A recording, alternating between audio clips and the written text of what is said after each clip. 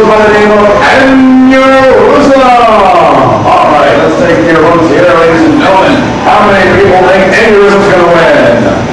It's got a huge drum on the front. The drum's gonna either try to shred the, shred the armor of its opponent or pick it up and throw it into the air. How many people think that the seasoned veteran of uh, Devil's Plunger is gonna win? You guys seen that old plunger drive? He's a great driver. Actually, that's not the driver. His wife is the driver of Devil's Plunger, uh, Whitney, Whitney and Max, Whitney and Matt Maxim. Sacramento. A family that builds robots together is a family that fights robots together. I don't know what that means. It's a family fighting event. It's like Thanksgiving, but different, without the turkey. Aneurysm, are you ready? Aneurysm is uh, pushing the button. Are you ready, Aneurysm? Aneurysm is ready. Lifeguard Ken, wanting to look back into the beach to see what was going on. Like the beach is now closed. Devil's Plunger, are you ready? Devil's Plunger is not ready. We're going to give him a few seconds. I think he was doing some more bunnies to put on his robot. Oh,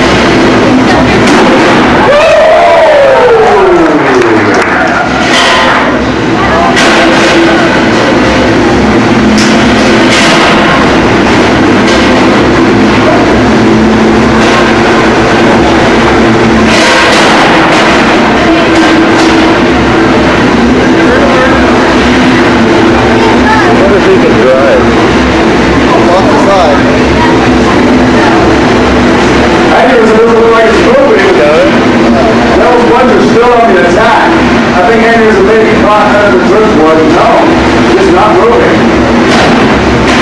Devil Fund is still attacking aneurysm, trying to get back to some of the damage that he's given